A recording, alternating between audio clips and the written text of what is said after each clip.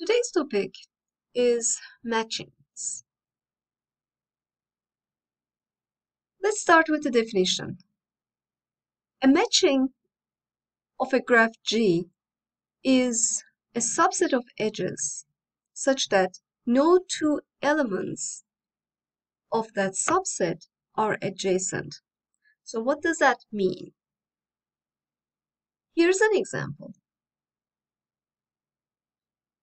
We have a graph of 1, 2, 3, 4, 5, 6, 7 nodes. And all of these edges are numbered from E1 to E10.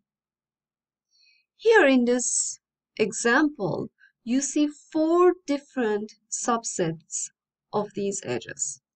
For example, take E1, the edge here. By just itself, this edge represents one possible matching. Here's another example, E1, E5, and E10. E1, E5, and E10. As you can see, each of these edges have different end nodes. E1 has these two nodes as ends, E5 has these other two nodes as the end nodes, and E10 has these two totally separate pair of nodes as end nodes.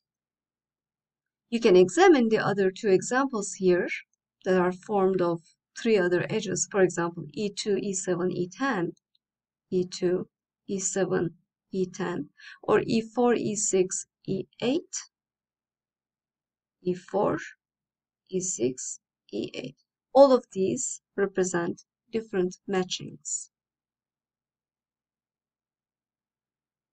So, a maximum, maximum cardinality matching is a matching which contains a maximum number of edges. Perfect matching is defined as a matching in which every vertex of the graph is an endpoint of an edge in the matching. We may not be able to find a perfect matching in every graph. For example, if a graph contains odd number of vertices, that graph will not have a perfect matching. If a graph contains a perfect matching M, then M is a maximum cardinality matching. Cardinality means the number of elements in that matching. So maximum cardinality matching means we are creating a matching in the graph that is a subset of edges in the graph that has the maximum number of edges possible. We will separate this problem into two different cases. The first case is to find the matchings in a graph in a bipartite setting. So we're talking about bipartite graphs.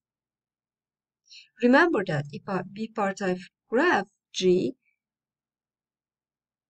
separates the nodes into two different sets, V prime and V double, double prime.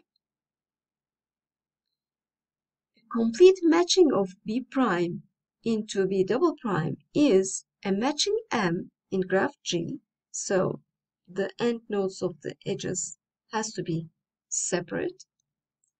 And also every element of V prime is an endpoint of an edge of M. If a bipartite graph contains a complete matching M, then M is also maximum cardinality matching.